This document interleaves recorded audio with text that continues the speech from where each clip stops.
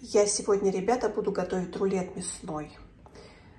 Вчера я достала мясо размораживаться и совсем забыла, это карбонат, и совсем забыла заснять, как я мясо разрезаю. В общем, был вот такой кусок мяса. Вот такой.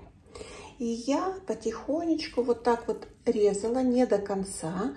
Далее поворачиваем и еще вот так разрезаем, ну, чтобы у нас получилось где-то сантиметр толщины. Далее мы мясо наше маринуем теми приправами, которые вам нравятся. Здесь у меня адыгейская соль, розмарин, черный перец, итальянские травы.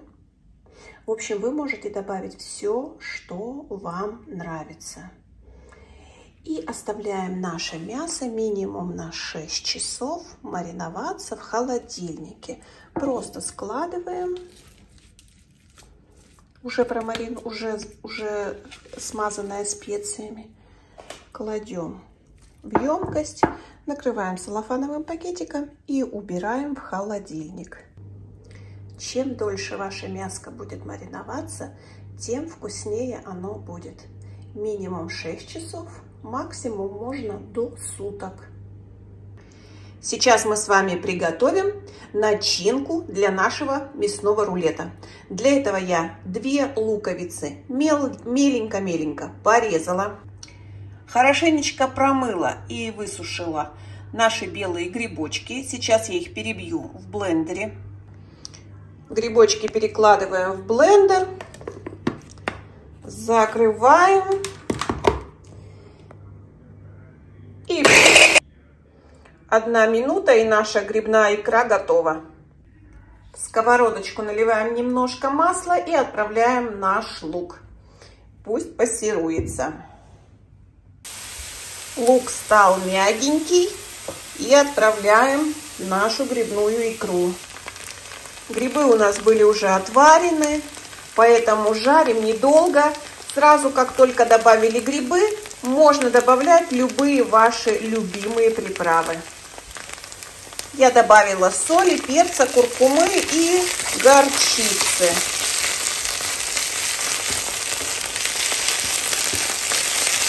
Соединяем, даем 5 минут, 5-10 минут, чтобы наши приправы соединились с грибами и луком. И можно выключать. Все, ребяточки, 7 минут у меня прошло. Я плиту выключила.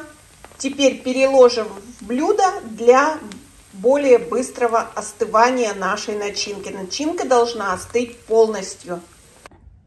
Переложили и пусть остывает. Начинка наша, ребята, хорошо остыла.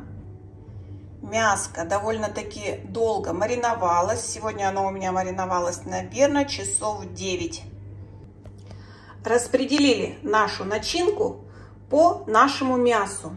Стараемся, чтобы по сантиметру или по пару сантиметров по краям у нас осталось, чтобы начинка не выпадала из рулета. И начинаем скручивать. Вот такой, ребята, толстый рулетик у нас с вами получается. Сейчас мы его завернем в рукав для запекания. Рукав для запекания, ребята, я разрезала вдоль, чтобы получился вот такой широкий лист. И сейчас начну закручивать. Вот так вот берем наш рулет и закручиваем плотненько. Края хорошенечко завязываем. Вот так у нас с вами получилось. И сейчас мы еще шпагатом перетянем в нескольких местах наш рулетик. Вот так вот у нас получилось, ребята. И чтобы сок не протекал, мы положим еще в один рукав для запекания.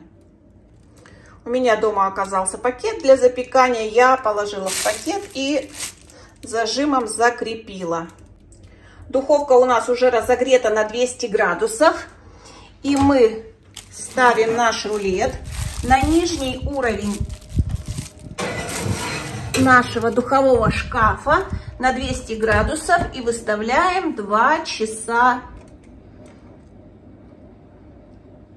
И пусть наш рулет запекается, ребята. Все, таймер выставлен в 21.53. Наш рулет будет готов. Два с половиной часа у меня рулет выпекался в духовке, 2 часа выпекался при 200 градусах и полчаса при 100 градусах. Из первого пакета мы наш рулетик достали, а во втором оставляем до утра, до полного остывания. Наш рулет, ребята, хорошенечко остыл. Всю ночь простоял в холодильнике. Я сейчас, ребята, рукав для запекания сняла, ниточки разрезала. И вот такой красивый рулет с белыми грибами у нас получился. Начинка, еще раз повторюсь, может быть совершенно любая. Кто-то делает с вишней, кто-то делает с солями. Можно добавлять фрукты, овощи. В общем, здесь уже на вашу фантазию. Можно вообще ничего не добавлять. Рулет очень вкусно на бутерброды. Просто изумительно.